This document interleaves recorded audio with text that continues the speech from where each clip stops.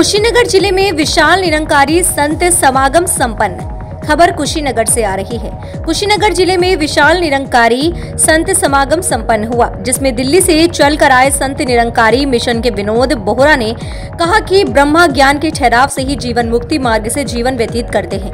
Nirankari mission रक्तदान शिविर का आयोजन करती है, सामूहिक शादी कराती हूँ। गरीबों की सेवा ही निरंकारी मिशन का उद्देश्य है। महात्मा का कहना है की एक तो जानो, एक को मानो, एक हो जाओ। कोई निरंकारी मिशन का उद्देश्य निरंकारी मिशन सत्तर देशों में फैला हुआ है। दुनिया का कोई ऐसा देश नहीं है जहाँ की निरंकारी मिशन का अर्चना लहराता हुआ है।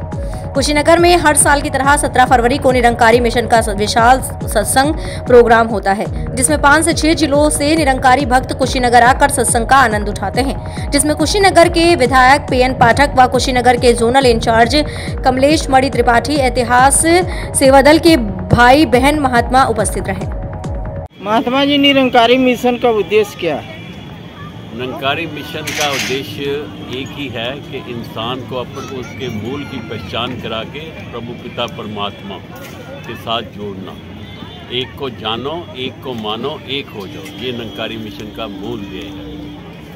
कि इंसान जो पैदा हुआ है, हर इंसान को अपने मूल को जानने का अधिकार है और ये अधिकार निरंकारी मिशन दे रहा है। ब्रह्म की प्राप्ति ब्रह्म की समाप्ति। जब ब्रह्म की प्राप्ति हो जाती है तो सारे ब्रह्मों का नाश हो जाता है। फिर ये इस नंकार को पूछता है और किसी ब्रह्मों में नहीं पड़ता।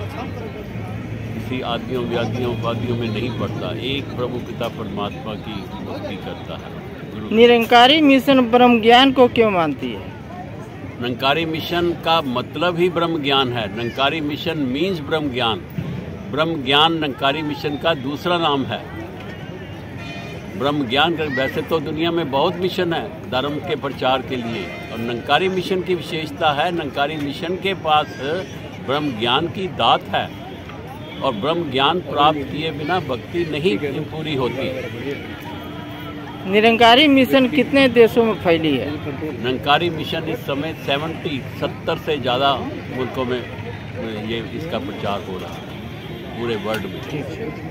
ठीक।